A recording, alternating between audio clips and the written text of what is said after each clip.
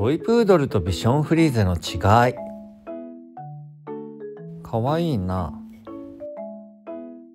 トイプードルはとても人気で知名度も高い犬種ですよね。ワンちゃん飼ったことがない人でも知らない人は少ないんじゃないかなと思います。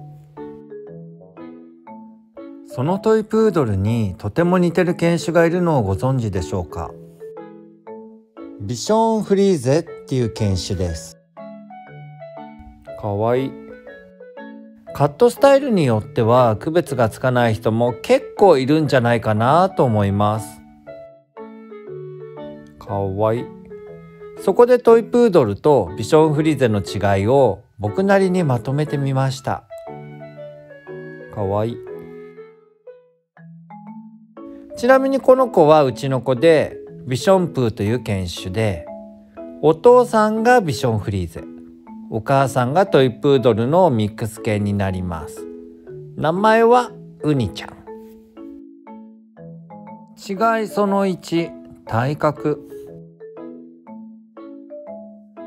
まあそれぞれ性差や個体差はあるんですけどもだいたいトイプードルの体重が3から4ビションフリーゼは5から6キログラム体高がトイプードルが26から28ビションフリーゼが24から29センチ。トイプードルは足が長くてスリムビションフリーゼは胴長短足でがっちりしてます。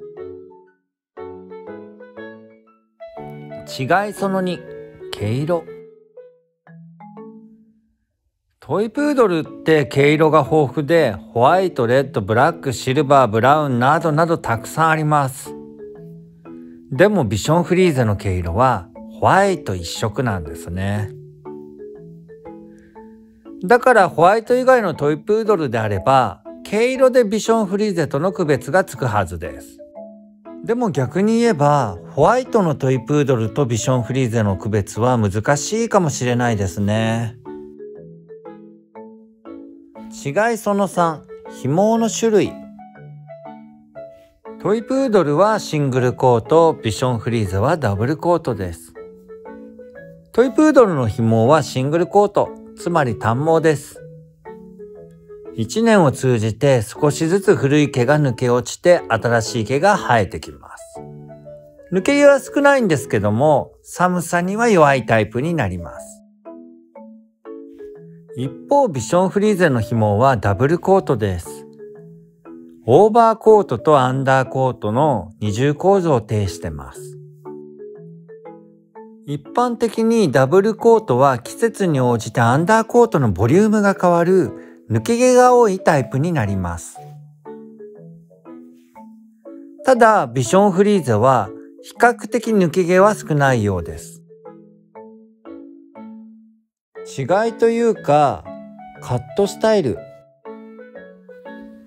トイプードルもビションフリーゼも紐の種類違うんですけども抜け毛が少ない犬種になりますだから毎日のブラッシングや定期的なトリミングは必要になるんですけども抜け毛が少ないってことはいろんなカットスタイルが楽しめる研修でもあるんですね。トイプードルの代表的なカットって言えば、まあ、テディベアカットが一番有名かもしれませんね。まあ、一方、ビションといえば、ビションカット。まあ、アフロカットでしょうかね。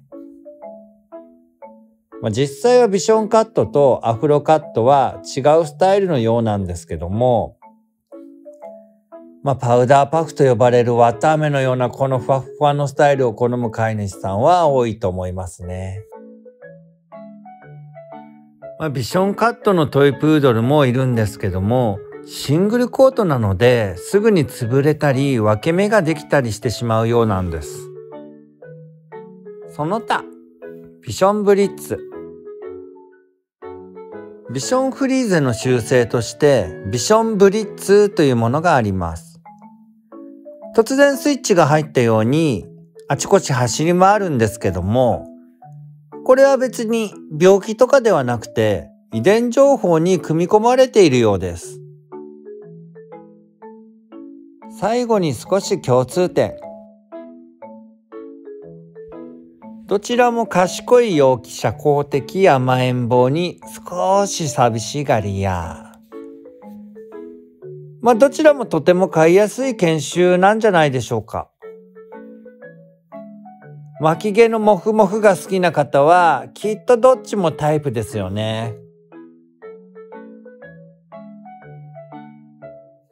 今回は僕なりにトイプードルとビションフリーゼの違いをまとめてみました。で、今度いつかね、近いうちに、うちの可愛い愛犬ウニのビションプーってこんなワンちゃんだよっていう動画を投稿したいと思いますので、楽しみにしていてください。それではまた次回の動画もよろしくお願いします。バイバイ。